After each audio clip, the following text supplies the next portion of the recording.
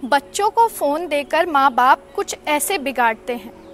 बच्चा स्कूल से आया, माता सीरियल देख रही थी, सोचा डिस्टर्ब करेगा, ध्यान भटकाने के लिए फ़ोन दे दिया। पति पत्नी के बीच बात हो रही थी, बच्चा बीच में बोल पड़ा, फ़ोन दे दिया और कहा, जाओ दूसरे कमरे में जाकर देख लो। बच्चा होमवर्क नहीं कर रहा था, होमवर्क कराने के लिए बोला, लो, पहले जल्दी जल्दी होमवर्क कर लो, बाद में तुम्हें फ़ोन मिलेगा। बच्चा पिताजी के साथ बाहर जाने की जिद कर रहा था। बोला, लो, फ़ोन लो और मेरी जान बख्शो।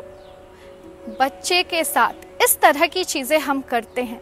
हम खुद ही उनकी आदत बिगाड़ रहे हैं और ये हर घर की कहानी है। मित्रों, जो ऐसा कर रहे हैं, उन तक ये वीडियो ज़रूर पहुंचाओ और इस वीडियो को ज़्यादा से ज़्यादा शेयर करो और उन्हें अवगत कराओ कि किस तरह आप अपने बच्चों की ज़िंदगी के साथ खिलवाड़ कर रहे हैं। माता पिता ज़्यादा से ज़्यादा समय अपने बच्चों के साथ बिताएँ। जय श्री राम।